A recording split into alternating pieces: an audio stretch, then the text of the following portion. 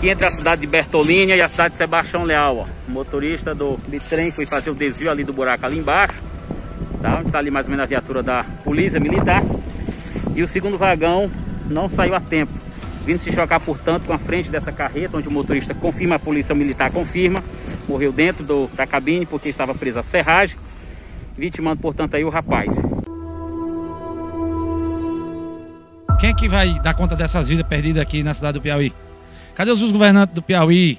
Em geral aí que não vê as estradas, os caminhoneiros passando aí aperreio na estrada, fica no prego, caminhão quebrado, acidente. E os impostos tá indo para onde? Eu rodo aqui tem três anos nesse trecho aqui.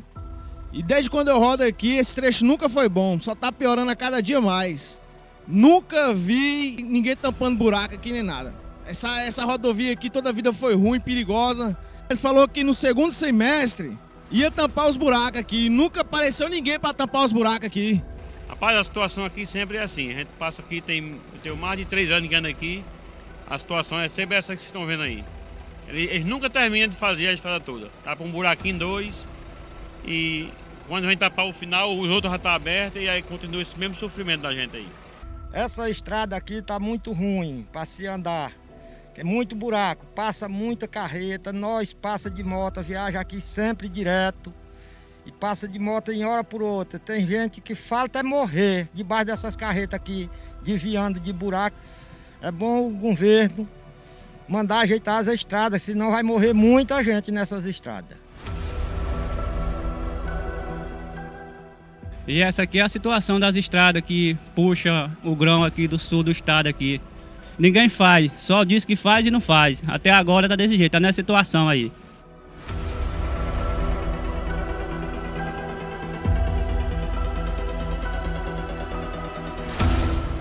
Trabalho como motorista autônomo, é, viajando no parte do Piauí, mais frequência, parte sul do Piauí.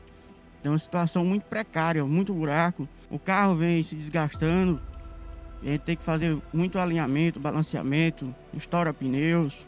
Um percurso que é para ser uma hora, uma hora e pouquinho, a gente leva três, quatro horas. Tá complicado, viu? Caminhão estragando, é a dificuldade para poder chegar no cliente, sair do cliente. E cada dia mais só piorando aqui, ó. Acabei todo sujo aqui, ó. acabei de trocar um pneu que estourou. De Uruçuí a Baixa Grande, de Uruçuí a Bertolinha tá praticamente intrafegável. É, todos os dias a gente que roda nessas rotas para poder trabalhar, a gente se depara com acidentes, é, muito caminhão quebrado, muito carro quebrado. É uma rota que é bem movimentada. Havia sido prometido para o segundo semestre uma operação de tapa-buraco e até agora a gente já está encerrando quase que o mês de agosto e até agora nada foi feito. Então a gente vem pedir para as autoridades que olhem para o sul do estado.